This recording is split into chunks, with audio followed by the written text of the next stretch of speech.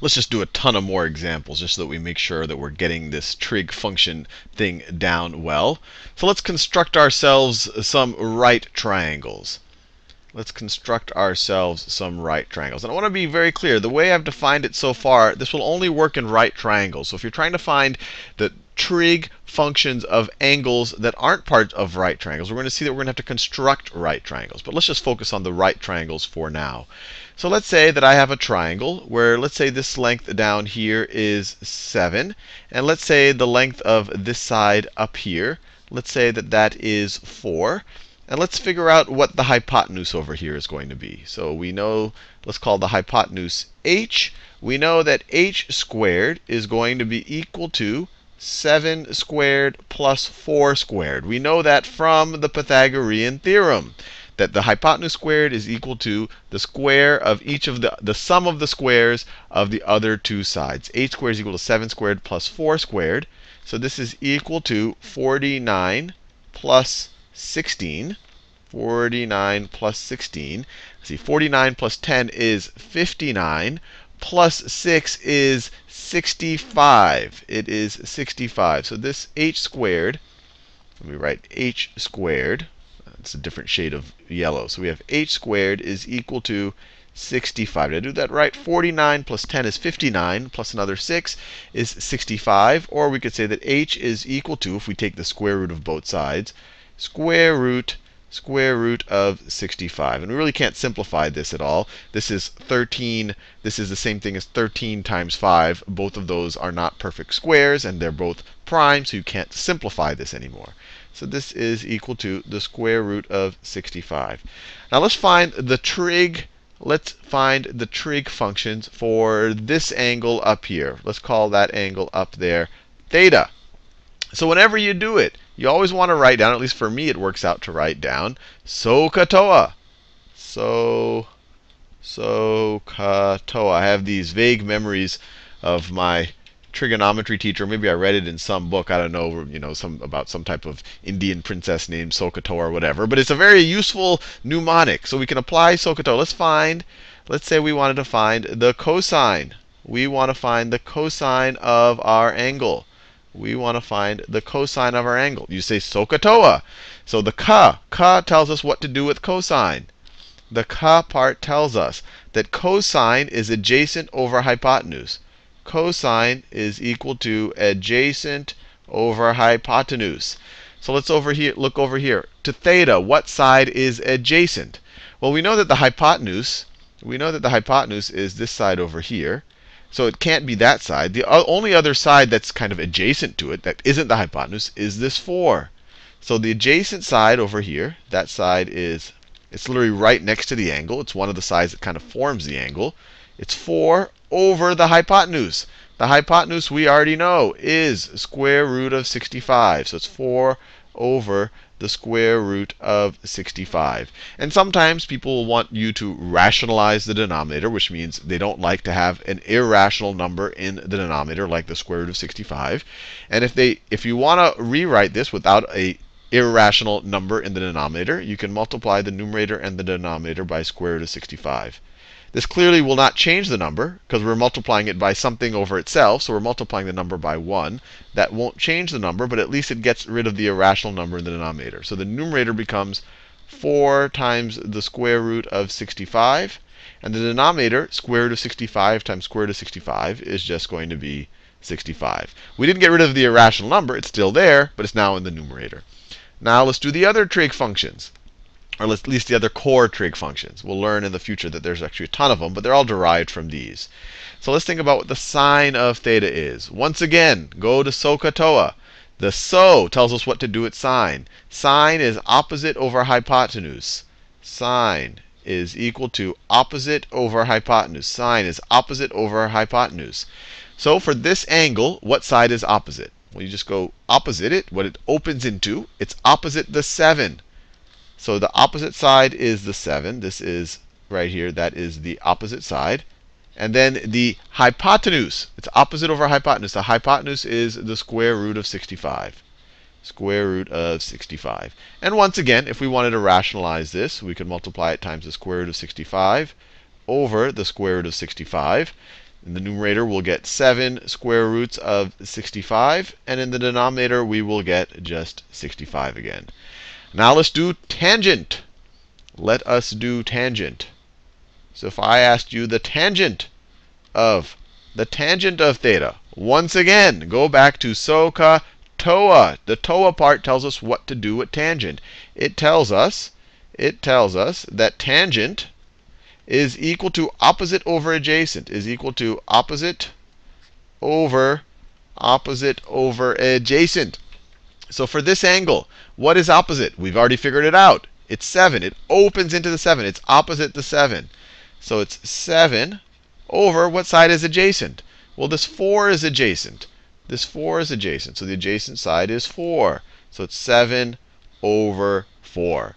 And we're done. We figured out all of the trig ratios for theta. Let's do another one. Let's do another one. I'll make it a little bit concrete. Because right now we've been saying, oh, what's tangent of x? What's tangent of theta? Let's make it a little bit more concrete. Let's say, let's say, let me draw another right triangle. Let's another right triangle here. Everything we're dealing with, these are going to be right triangles. Let's say the hypotenuse has length 4. Let's say that this side over here has length 2. And let's say that this length over here is going to be 2 times the square root of 3. We can verify that this works. If you have this side squared, so you have, let me write it down, 2 times the square root of 3 squared plus 2 squared is equal to what? This is 2, this is going to be 4 times 3. 4 times 3 plus 4. And this is going to be equal to 12 plus 4 is equal to 16. And 16 is indeed 4 squared. So this does equal 4 squared. It does equal 4 squared. It satisfies the Pythagorean theorem. And if you remember some of your work from 30, 60, 90 triangles that you might have learned in geometry, you might recognize that this is a 30, 60, 90 triangle. This right here is our right angle. I should have drawn it from the get-go to show that this is a right triangle. This angle right over here is our 30 degree angle. And then this angle up here, this angle up here is a 60 degree angle. And it's a 30, 60, 90 because the side opposite the 30 degrees is half the hypotenuse. And then the side opposite the 60 degrees is a square root of 3 times the other side that's not the hypotenuse. So with that said, we're not going to, this isn't supposed to be a review of 30, 60, 90 triangles, although I just did it. Let's actually find the trig ratios for the different angles. So if I were to ask you, or if anyone were to ask you, what is what is the sine of 30 degrees? And remember, 30 degrees is one of the angles in this triangle, but it, it, would apply whenever you have a 30 degree angle and you're dealing with a right triangle. We'll have broader definitions in the future. But if you say sine of 30 degrees, hey, this angle right over here is 30 degrees, so I can use this right triangle. And we just have to remember SOHCAHTOA. Let me rewrite it. So, ka, toa.